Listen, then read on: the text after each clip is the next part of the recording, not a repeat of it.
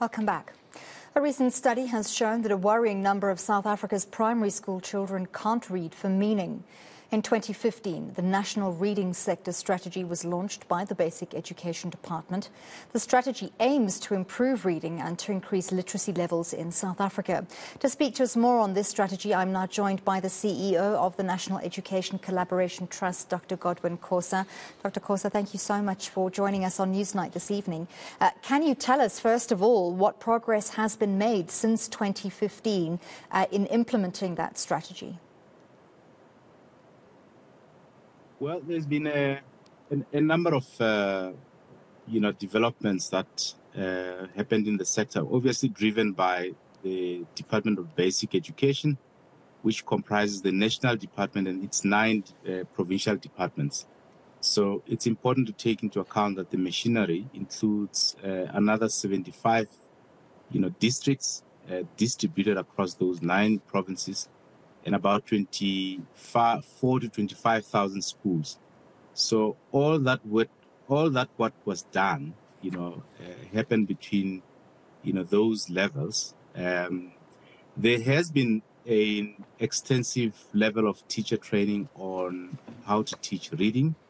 Much of that has been in uh, teaching reading in English language, and unfortunately less so on uh, African languages, which our country was tested alongside other countries in the world to establish the extent to which our learners or kids can read with understanding.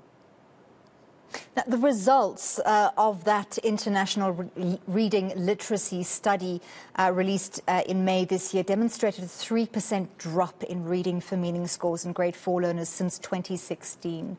Um, how has this necessitated the sector to reconsider that original strategy and be a little bit more flexible in terms of implementation to make sure that we meet the goals that we've set?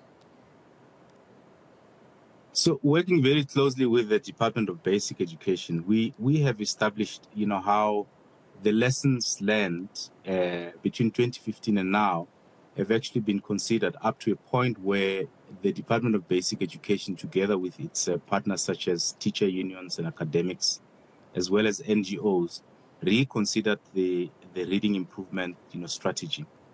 Um, one such big change has been in mainstreaming the areas that the strategy focuses on.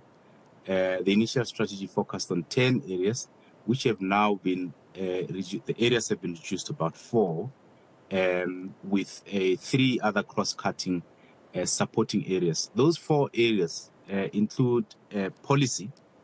You'll know that in government, things get done if there's a policy that clearly states mm. what and how things have to be done. So the first area that uh, there are improvements uh, in is the area of I mean area of policy. The second one is teacher development.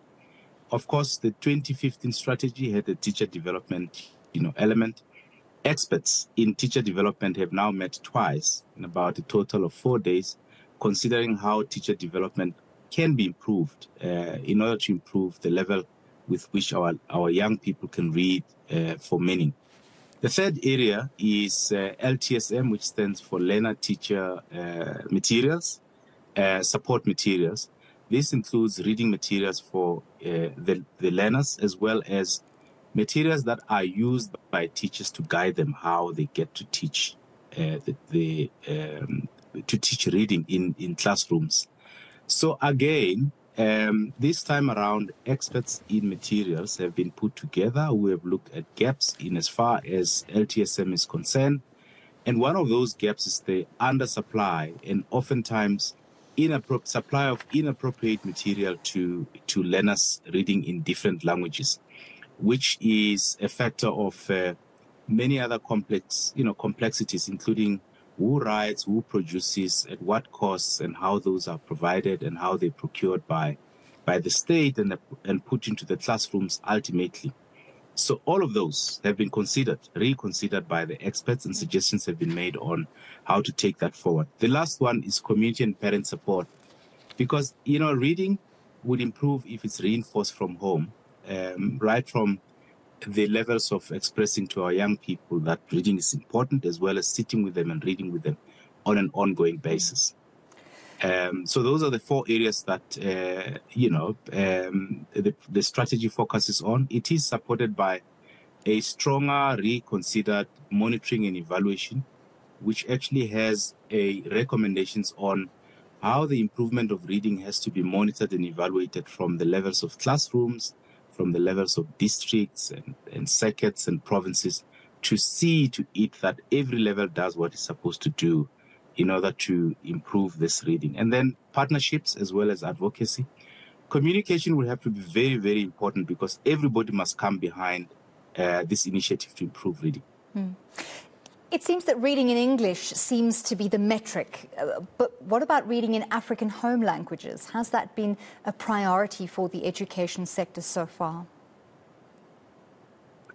So it, it has been a priority for the education sector. And um, the reason uh, um, English was prioritized is because it was quicker to design material and resources and to set up systems to get going with the improvement of reading in English.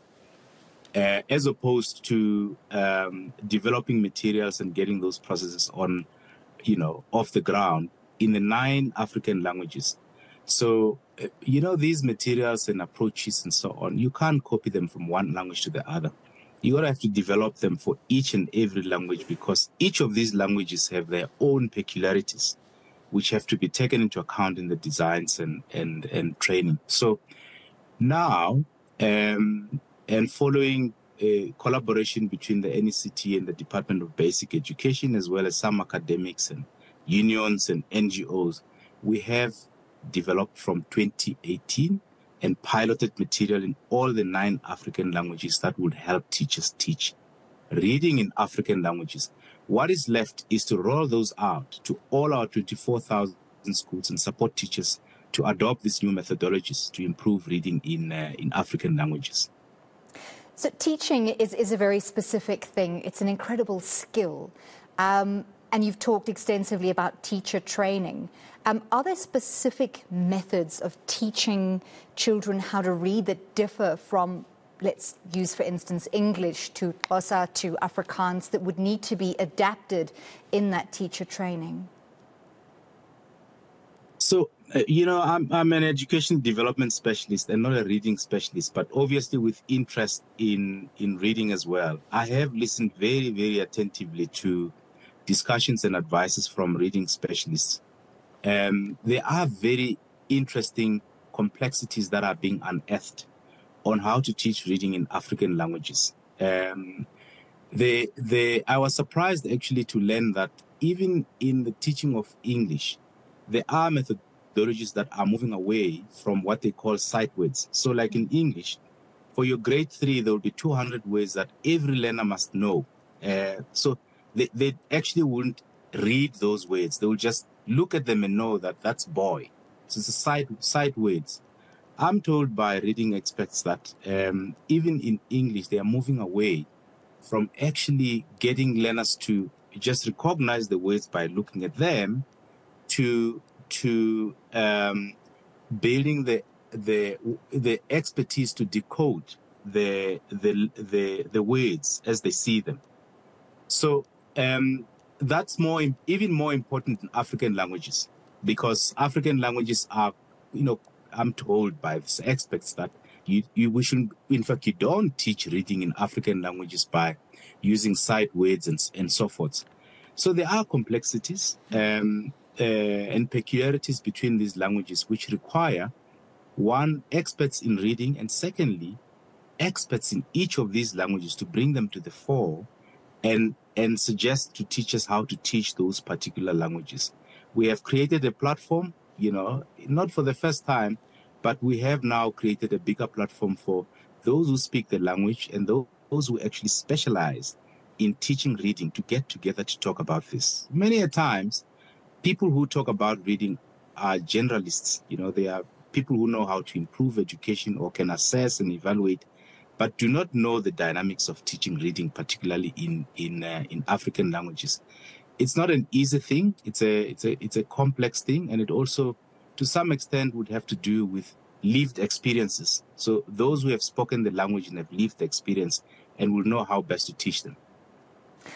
So great to hear that our strategy is being uh, adapted with the flexibility for the areas where we do need uh, improvement uh, and that we're looking at a future where our children uh, will, will you know, improve their reading skills. Thank you so much uh, for speaking to us. That was Dr. Godwin Khosa, CEO of the National Education Collaboration Trust.